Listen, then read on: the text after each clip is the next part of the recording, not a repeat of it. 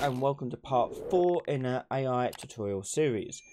In the last episode we started taking a look at the perception system and in that we had a little brief glimpse of decorators. In this episode we're going to go through decorators in a little bit more detail, talking about how they work, what they do and what settings they have available to them, as well as how to create your own. So let's jump in and get started. So previously we mentioned decorators uh, when we looked at senses so let's go into our behavior tree and you can see we've got two decorators already assigned over here. But what are they?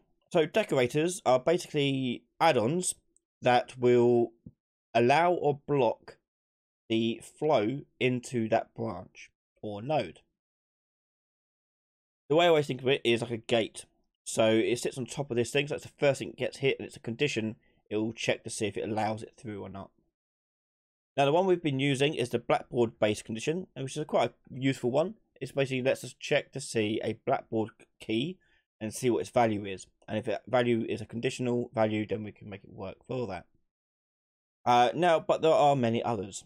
So if we were to right click on any node and go to add decorator, you'll see a load of decorators already made here. So let's go through in a little bit more detail about some of the key ones that I find very useful. So first we've got, we've got Blackboard base conditions. On Blackboard base condition, over here you've got Blackboard key and key query, which we mentioned last time. This allows you to set a key and whether or not it should be set or not set. Now if you're using a float value or integer or any other value like that, this will allow you to also check if it's equal to, greater than, less than, and so on and so forth. And that really does allow you to check those values in greater detail.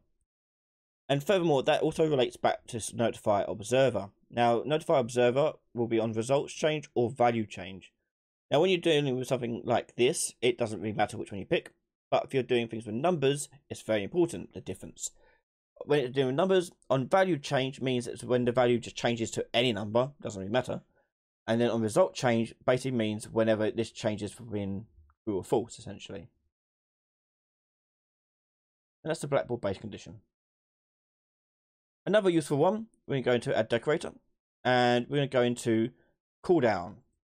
Cooldown basically blocks this node being used after being executed for a, a certain amount of time. And that amount of time is determined over here on the cooldown time, 5 seconds by default. So when it hits it, it will fail after 5 seconds.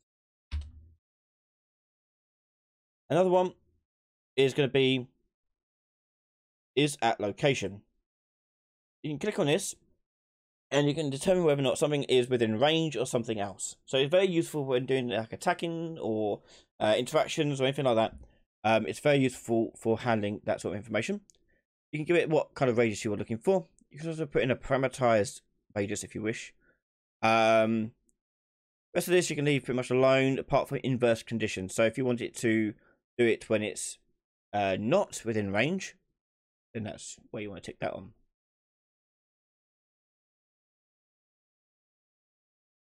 Go decorator again. Next we got uh, keep in cone. So this allows you to put in a basically uh, a conal degree basically, and it's going to pick a two actors essentially, and the actors you want to keep in in the cone are going to be based upon who you're who's watching who. So for example, cone origin would be self actor and observe maybe a target actor.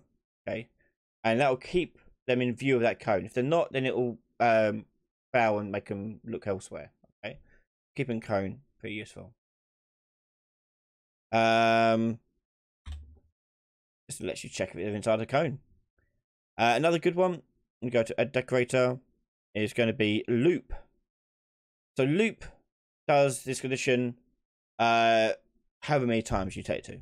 Okay, so number of loops default is three. And basically it detects whether or not that loop has been exceeded. So go through three times and that's it. It'll stop after that. Okay. Now decorators can also be made by you too. So we may say on this chase selector here, uh, decide whether or not we're going to chase us or run away from us based upon a condition on the player that's always changing. So for example, I can go up top here and do new decorator. It ask me where I want to name it. So I'm going to call it BT decorator.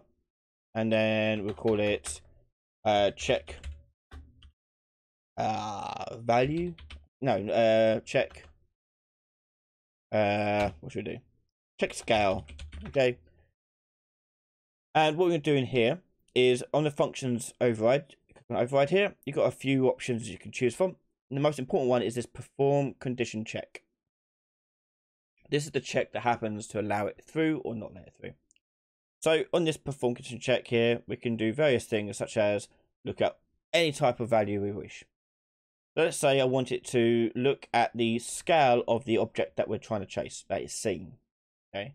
So if I go into uh, my variables here and give it a blackboard key of the target, I'll give it the type of blackboard key,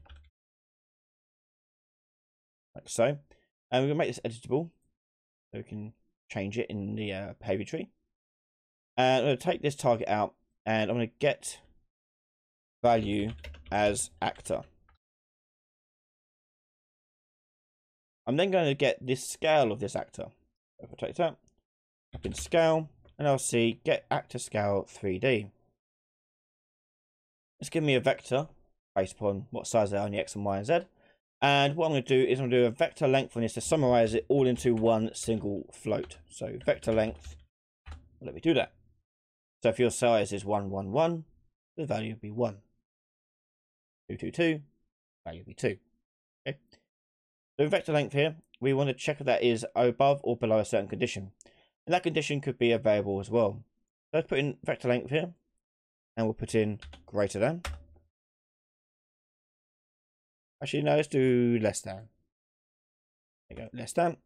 And promote this to a variable. And we'll do this one as um, max acceptable scale. And this boolean here will now go into our return node there. Now this max acceptable scale, I'm going to make that editable as well. And set its default to 1. But I'll go a little bit higher, I'll go 1.1. Okay. Let's put this onto our behavior tree. Go to our behavior tree and let's chase selector here. We're going to right click on this and do add decorator. And we should see our decorator here for check scale. Click on this and you can see those values that we set to be editable are now appearing in the options. We can click on this and on the right hand side we can choose the target, we target actor, and max acceptance uh, scale here will leave us 1.1. So if our character uh, we are set the target actor is below the size of 1.1, he should chase us. But we also want to make sure this only works if this was in fact valid. So let's take the blackboard as value here and type in valid and do in its valid node and chuck that into there. Okay, and if it is valid, great, move on to this. If it's not valid, we're going to put in the return node and leave it as false. Okay.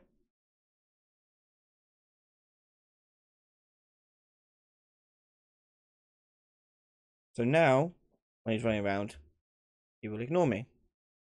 Now, he'll still register and still see me, as shown by the perception system, but he isn't going to respond to it. Okay. And there you go, that's decorators. And there we go, we've now got decorators covered. In the next episode, we're going to go back to our perception system and take a look at the sound system. So how to make him hear whistles or step footsteps from our player character and for him to go investigating for that sound. You can watch that next episode right now over on patreon.com forward slash Ryan Laley, where all my videos are available early from just $1 a month. Massive thank you to all my patrons and YouTube members for their continued support. Make sure you subscribe and I'll see you all. Bye everyone.